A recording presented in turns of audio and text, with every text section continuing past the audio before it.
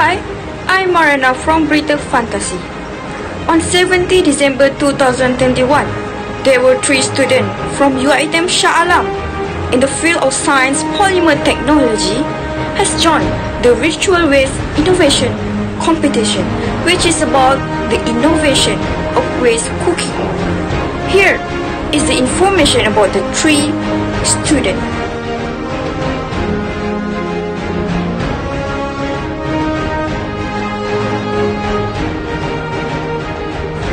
On the information given by them, a large quantity of waste cooking oil is generated daily, which may pose environmental problem if not handled properly.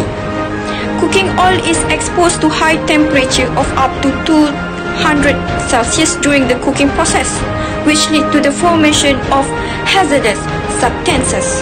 These hazardous substances are potentially dangerous to human health and can have a detrimental effect on the environment.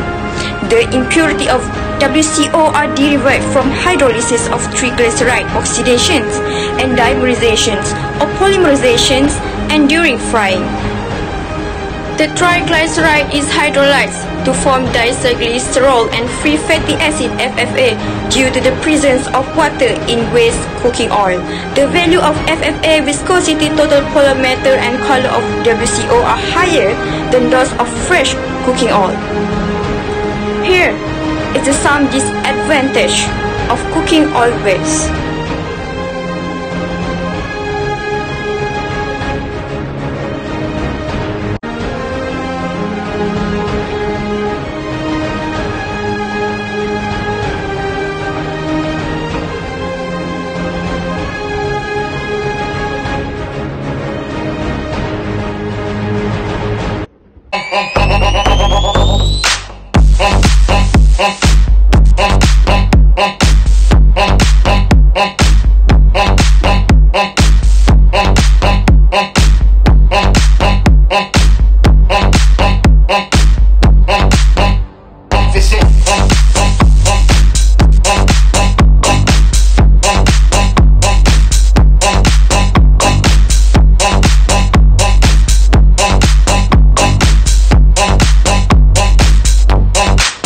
this shit and,